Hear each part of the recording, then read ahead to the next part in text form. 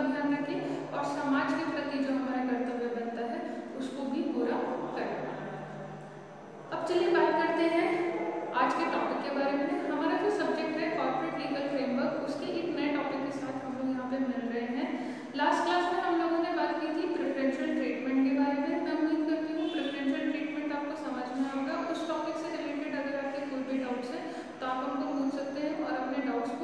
खत्म करके टॉपिक पे और क्लैरिटी ला सकते हैं।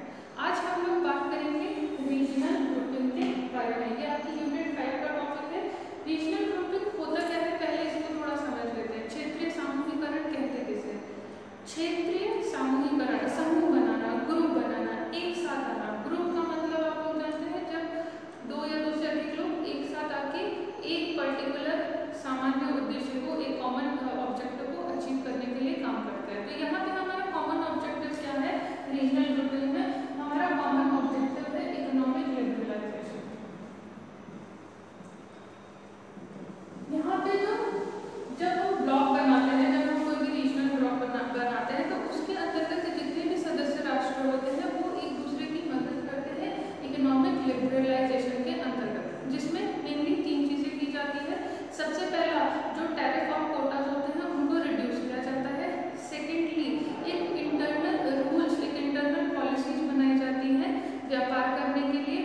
तीसरा जो हमारे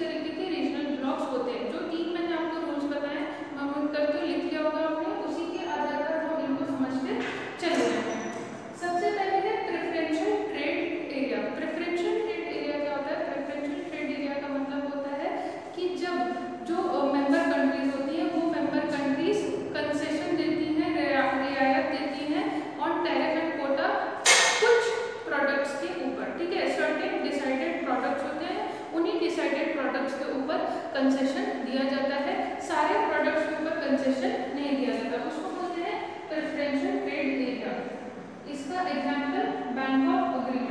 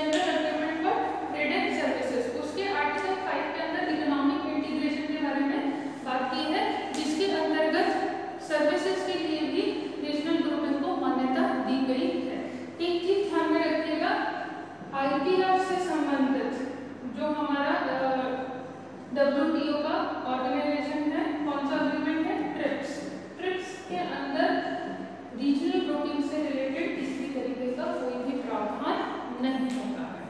इसके साथ में हम इस सेशन को खत्म करेंगे। मैं उम्मीद करती हूँ कि आपको रीजनल ग्रुपिंग समझ में आ रहा होगा। रीजनल ग्रुपिंग से संबंधित अगर आपकी कोई भी क्वेरीज है तो आप उसको पूछ सकते हो। अपने सारे वीडियो लेक्चर्स को जल्द से जल्द पाने के लिए नीचे बने हुए प्रेस करिए चैनल को सब्सक्राइब करिए और सारे वीडियो लेक्चर्स आपको वहाँ पे मिल जाएँगे।